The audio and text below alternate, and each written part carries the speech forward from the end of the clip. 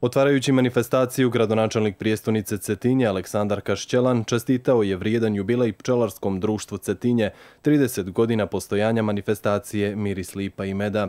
On je dodao da zajedno sa cetinskim pčelarima i njihovim gostima danas slavimo jedan od najčudesnijih proizvoda prirode. Samo ove godine, prema njegovim riječima, 95 mladih pčelara iz 17 crnogorskih opština dobilo je podršku Ministarstva poljoprivrede kako bi počeli da se bave pčelarstvom. Sve navedeno daje nam za pravo da možemo govoriti o medu kao nacionalnom brendu. U prvom redu zbog kvaliteta kojim domaći proizvođači prodaju veliku pažnju, ali zbog svih mjera koje se preduzimaju da se na tržište plasiraju originalni i bezbjedni proizvodi. Ovo posebno iz razloga što med cetinskih crnogorskih pčelara ima dobru perspektivu za plasman većih količina na evropsko i druga tržišta, a tamo se brendu i dobrom imidžu predaje veliki značaj.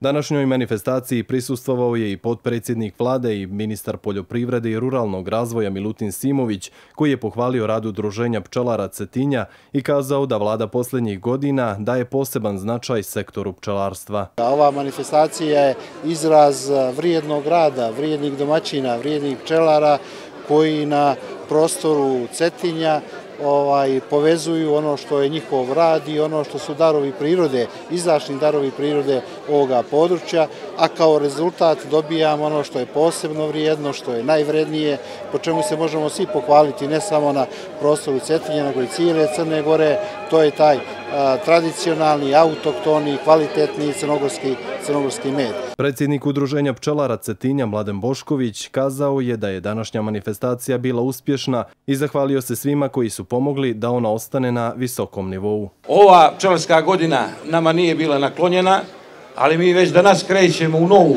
2020. pčelarsku godinu, ali uspjeli smo ipak da imamo neke viškove meda koji su danas izloženi ovdje na Bašićem pazaru. Ovo je inače naša tradicionalna 23. E, po redu pčelarska godina, a inače 30 godina još od davne, 1989. godine, danas slavimo 30 godina od prve manifestacije koja je održana ovdje na Barše pazaru. Manifestacija Miris Lipa i Meda dobra je prilika da se prikaže rad pčelarskih organizacija i kvalitet meda koji nam je priroda podarila, kazao je predsjednik Saveza pčelarskih organizacija Crne Gore Radule Miljanić. Uz pomoć iskrenu i vrlo, vrlo izdašnu Ministarstvo poljoprivrede, mi stvaramo ambijent da taj naš kvalitet pa, plasiramo na naše tržište i ako bude trebalo i van Crne Gore. Nažalost, nemamo e, kvantitet i neke izdašne pčelarske godine, ali ima, imamo kvalitet koji možemo da se podičimo na svakoj berzi i na svakoj trpezi e, na ovom prostoru i van van ovih prostora. Ovogodišnje 23. izdanje manifestacije okupilo je brojne izlagače iz Crne Gore, Srbije i Hercegovine, a pored pčelara bili su prisutni izlagači sa kozmetikom na bazi meda, čajevima, suvenirima i domaćom radinošću. Ja sam Dajković Vesna, dolazim iz Crnice, sela Dupila. Izložila sam na nas med, neke male likere, imamo, većinom prevladava med, ove godine i nije nešto bila godina, ali to što je bilo, bilo je dobro. To mi se sviđa. Pa na štandu danas ima med, razne rakije sa medom i dosta proizvoda tu koji se nalaze na štandu za... Iz našeg vinograda vino, vranac, moj med, čelinji proizvodi, propolis kapi i tako, pomalo po nešto.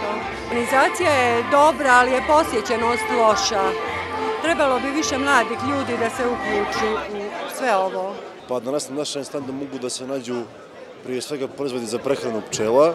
Imamo vosak koji je prerađen i prvi put izložena linija meda koja će početi uskoro sa pakovanjem i otkupom meda. Prezadovoljni smo organizacijom za to što ima veliki broj izlagača, na prelijepo je mjesto organizovano, prelijepo je muzika, sve ono što ide u skladu sa Crnom Gorom. Udruženje pčelara Cetinja ove godine doniralo je med dnevnom centru za djecu i omladinu sa smetnjama i teškoćama u razvoju. Tokom kulturno-umjetničkog programa nastupili su Vesko Belada, Guslar Savo Vujačić, kulturno-umjetničko društvo Njegoš, Cetinski gimnazijalci, učenici osnovne škole Njegoš i Lovćenski partizanski odred.